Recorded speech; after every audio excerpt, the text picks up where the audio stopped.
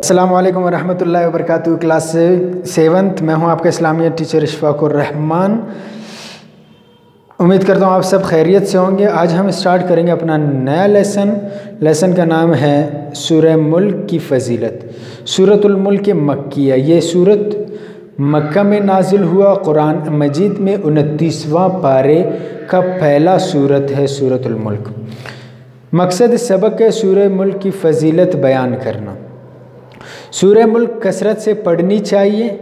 इसके ज़रिए मरने वालों को भी सवाब पहुंचाना चाहिए। ये उनतीसवें पारे की पहली सूरत है। हदीस शरीफ में है, सूर्य मुल्क की तीस आयतें आदमी की इस कदर सिफारिश करती हैं, जिससे वो बख्श दिया जाता है।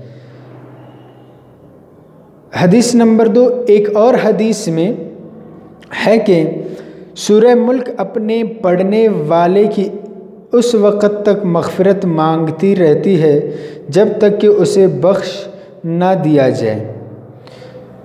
तीसरी हदीस हजूर अकदस सल्लल्लाहु अलैहि वसल्लम का फरमान है, मैं चाहता हूँ सूर्य मुल्क मेरे कल्ब मोम सूर्य मुल्क हर कल्ब मोमिन में हो, यानी हर शख्स को याद हो। हदीस नंबर चार हदीस शरीफ में है कि अजाब के फरिश्ते, जब आदमी के पास उसके कब्र में आते हैं तो इसके पाँव की तरफ़ से आते हैं तो पाँव कहते हैं, तुम्हारे लिए इस तरफ़ से कोई रास्ता नहीं, क्योंकि वो हमारे साथ सूर्य मुल्क पड़ा करता था।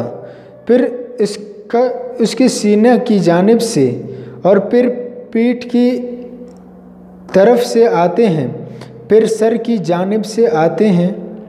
गरज, हर उज़्व यही कहता है, बस ये अजाब कब्र से बचाती है। और तौरात में इसकी फ़जीलत, तौरात एक आसमानी किताब है उसमें इसकी फ़जीलत इस तरह बयान की गई है कि जिस शख्स ने रात में इसे पढ़ा उसने बहुत नेकियाँ की और अच्छे काम किए।